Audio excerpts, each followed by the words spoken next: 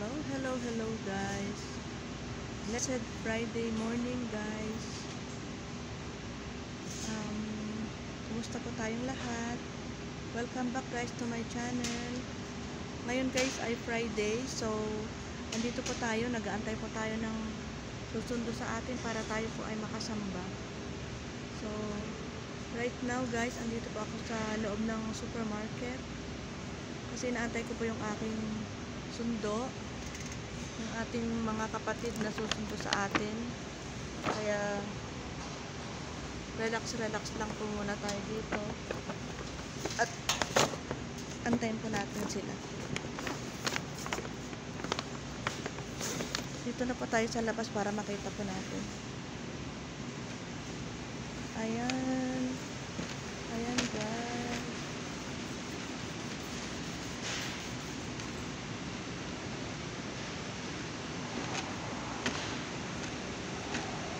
Guys, tignan yung mga halaman. Halaman. Dito sa may supermarket. So, dito na ako guys sa labas mag-aantay para makita ko. Makita ko yung ating kapatid. Ay, dito na sa loob pala. Init. Dito na sa loob. Para mayroon pang aircon. Ayan guys. Nating mag-antay dito. Kaya po ako dito nag-aantay guys kasi bumili po ako ng water para mayroon po kami inumin sa church.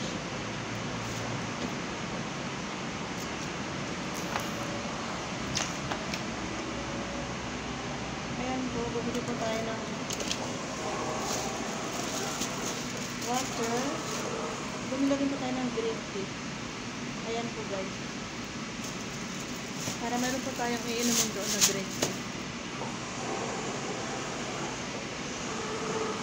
So, sobrang init guys. Sobrang init. Papakita ko nga pala sa inyo guys yung mga ano dito, yung mga halaman. Ito guys. Sa bukana ng ano, ano. Mga ano yan, mga maliliit na halaman.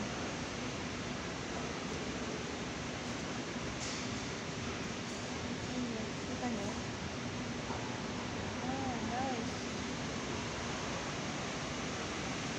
Nice.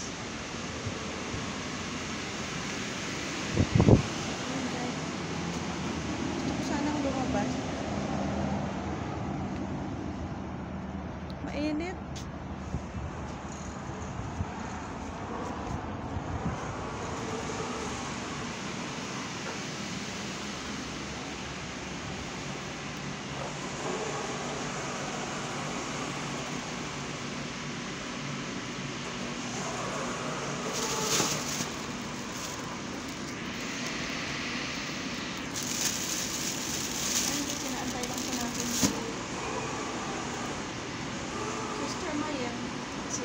body.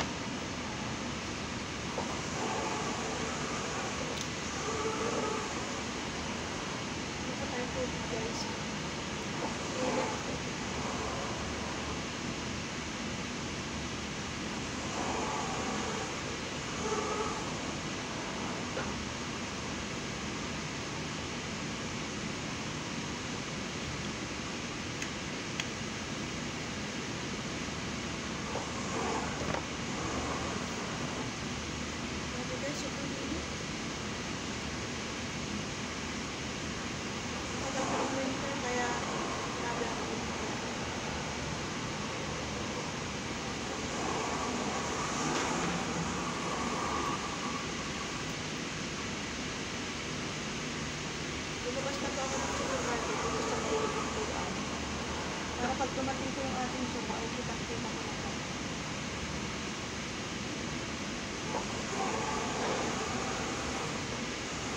Guys, habang naghihintay po tayo dito, gusto ko lang po magpasalamat sa lahat ng ating mga subscriber. Maraming maraming salamat po sa 97 subscriber guys.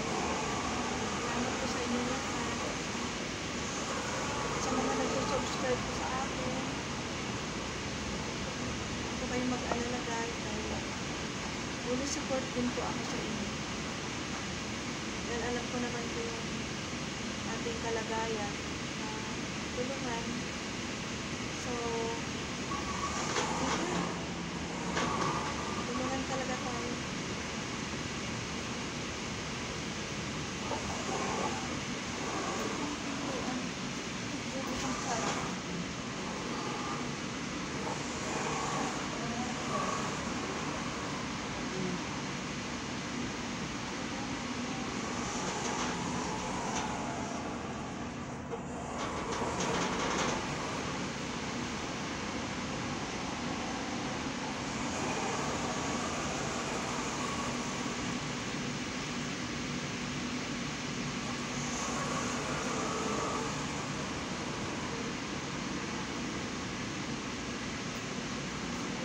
Ito na siya guys.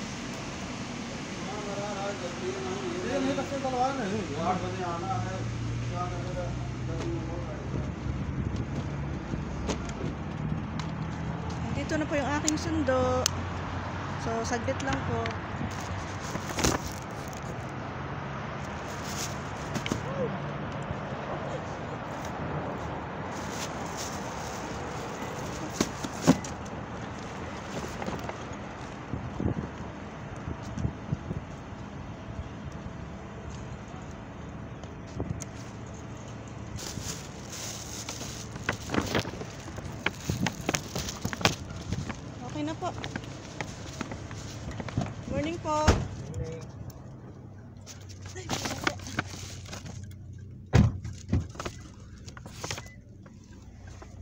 So guys, andito na po si Brad Bal. Nasundo na po ako. Brad, say good morning. Hi, good morning. Si Sister Mayet po ay nagluluto po. Kaya hindi po nakasama. si ano, Star Malone din na. Wala po. Sa next Friday naman po siya.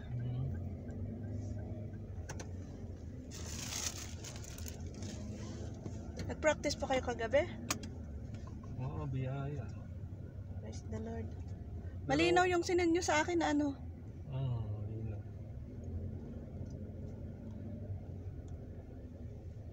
Yung si ano, may pasok kasi sila. Oo nga po, mga night shift sila. Korean. Opo. Pero mamaya, mga after ng Friday school, Mm Opo, mag-ano tayo? Oo. Practice. bababa agad tayo. Oo. Saan magpapatak? Sa baba o sa kantin? Doon daw kay La Brother Nurse eh. Ah, o Kasi sige. sa kantin crowded pag Oo nga po. ng ano eh. Mga nagkakainan sila. Kakainan, merong iihi. Mm Tsaka para makapag-concentrate na din. Mm. So, ayan guys, pupunta na kami ng church. Ito po yung aming way. Ito yung aming daan. Sasama ko po kayo sa daan.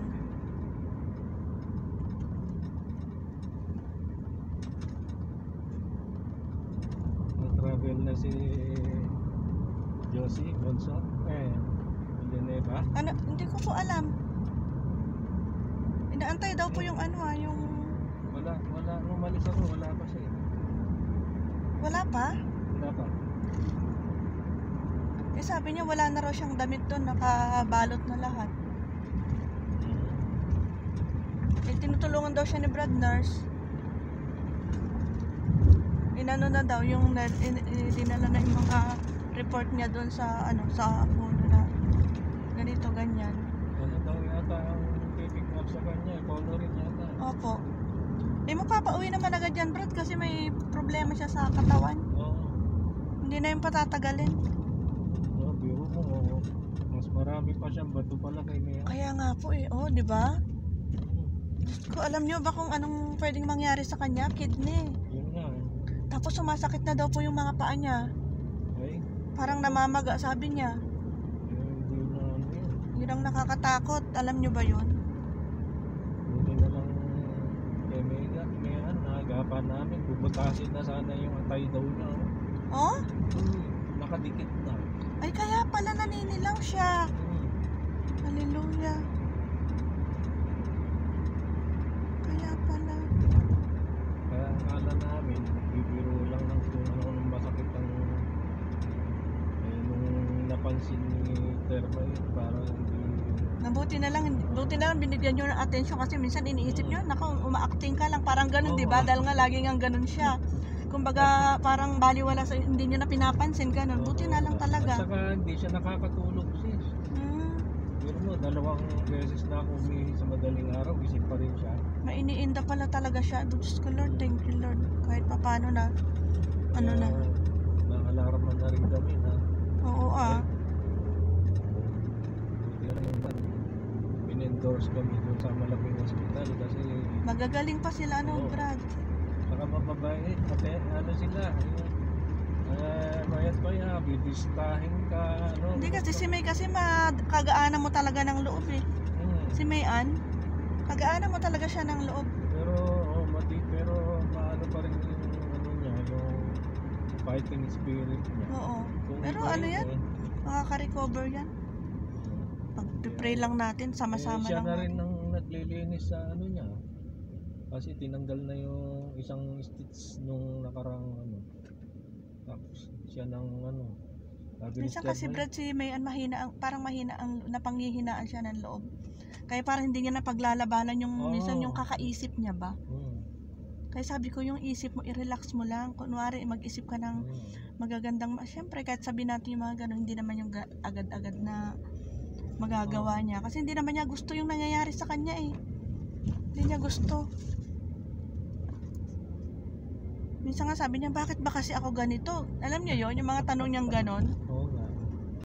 Niya, yung nangyayari sa Saka- kanya, kaya lang parang natatalo siya ng ano niya, ng emosyon niya. Tapos parang may, may bumubulong daw. Opo, yun nga. Kasi "Sawayin nga mo naman." kakaisip niya kung ano-anong iniisip niya.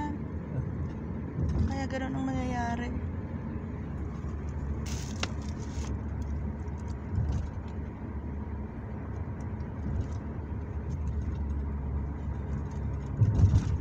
Kaya eh, siguro mag-extend na naman kami. eh. Wala na naman yung balak na umuwi. Ako nga Brad, gusto ko umuwi ngayong December, kaya lang Kasi, sabi ni Sister Yoli, Sis, alam mo ba pag umuwi ka, ang dami mong gagawing mga pipil upan, ang dami mong, ay naku, ang, ang hirap. Eh, sabi ko sa mga anak ko, hindi ako nagpa-promise. Kasi na, Ah. sabi ko, uwi ako ng December. Pero hindi ako nangangako, sabi ko na makaka-uwi ako dahil alam niyo naman yung sistema. Alam niyo naman yung sitwasyon. Siyempre, sino ba naman ang may ayaw na umuwi, di ba po? Lahat naman tayo gustong-gusto natin Ay, makauwi at makabalik. magandang balita, ano, pinalita sa amin ng kernel na kakilala na pinakain kami kagabi sa kanila eh. Nag- Nag-invite. Oh, ano pong balita? Ano, yung, di ba sa Ikama, meron pang Ministry of Labor, meron Opo, opo. insurance. Opo. Pero insurance talagang ano, eh, normal lang talaga yan. Opo.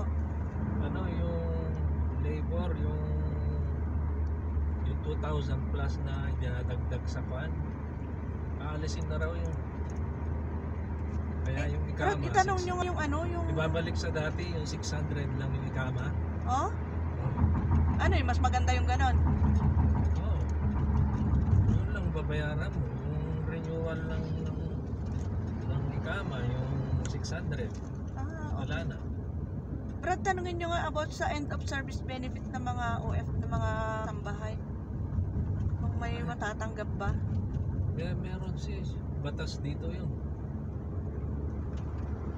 Kaya lang yung ibang mga Arabo, hindi nila Yun nga po, yun, nila yun nga po ang ano. tanong. Maraming mga amo na hindi sumusunod sa mga Mhm. batas.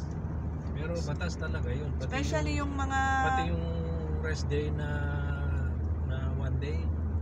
Opo, batas, batas talaga. yun. Kaya nga nilalaban ko rin talaga yung one day na rest. ang ang sistema dun sis sa for every one year of service mo may half month of of your salary. Aba, malaki na yun. Sa loob ng 5 years yun. Pagka exceeding 5 years, di ba, ika 6 years na, 1 month na yung equivalent makukuha mo. Pag 6 years, Oh, pag, Pag- ika 6 years. pag naka 6 years ka, mag ka ng bonus. Parang ganon. Oh, 1 month. Hanggang di ba Eh di, yung eh 5 di kayo years? Brad, pag nag-exit kayo, ang laki naman ko. Ay, hindi, nag-iba, pag nag-iba kayo ng amo, Ah, kami? Hindi kami, wala kami. ah, sa inyo po wala. Sa mga OFW lang, sa mga kasambahay lang. Hmm. Eh, halimbawa ako, mag 15 years na ako. ay malaki na makukuha mo yung bali uh, 15 years bali 12 and a half month salary mo Ah, laki na nun ah.